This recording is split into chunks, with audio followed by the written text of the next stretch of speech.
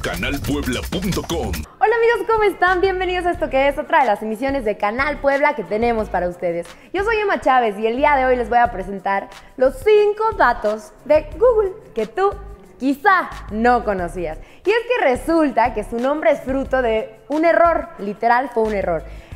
Se pronuncia Google, así es la palabra, o sea, bueno, es el, el, nombre que se le da a 10 elevado a 100. Es un rollo matemático muy extraño, pero de verdad así se pronuncia, es Google. Eh, no lo dije mal para que luego no me estén troleando, ¿ok? Bueno, ahí les va. En referencia a la gran cantidad de información que quieren indexar.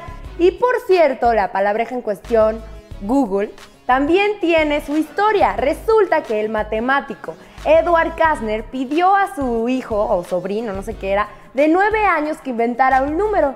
Y este niño le puso Google a su, a su número. ¿Qué tal?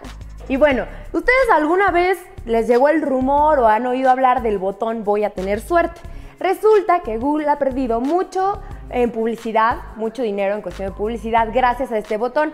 Sin embargo, lo han dejado porque les parece atractivo. ¿Qué hace este botón? Tú cuando le aprietas te puede mandar a cualquier página de todo el buscador.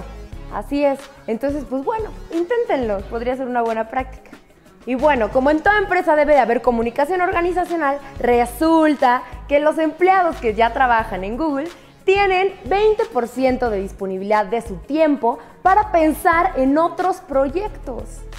Y bueno, para todos aquellos que tienen Gmail, resulta que antes de que sacaran Gmail como lo conocemos ahora, estuvo a prueba dos años y medio. Y es que concluyeron que había seis tipos de usuarios y en función de eso desarrollaron las demás opciones de aplicación que nos han llevado a conocer lo que es hoy Gmail. Bueno, y resulta que en Google usa la regla 25 para usar todos sus ahora sí que el desarrollo del proyecto de Google. Y esta regla dice que si al menos un 20% de usuarios necesita una función, esta función se va a incluir. Y como mínimo un 5%, y bueno, más bien sí, como mínimo un 5% la necesita, la implementan en preferencias avanzadas. Y bueno, un dato súper interesante de Google es que ellos son em, dueños del dominio que va 4, 6, 6, 4, 53.com. Así, literal como se los dije. Metan ese número en el buscador y resulta que este dominio pertenece a Google. ¿Por qué?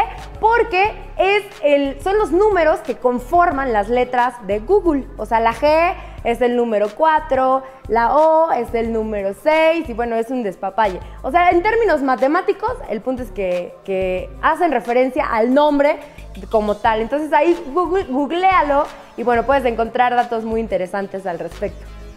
Y bueno, yo los dejé con los 5 datos curiosos de Google. Les mando un besote, yo soy Emma Chávez. Síganme en mis redes sociales, estoy como, bueno, en Twitter como Emma con doble MCH3. Y bueno, si quieren comentarme algo, si quieren mandar saludos, si quieren decir lo haces nefasto, ahí me pueden escribir y ahí me pueden decir todas sus opiniones. Les mando un besote y nos vemos en la próxima emisión de Canal Puebla canalpuebla.com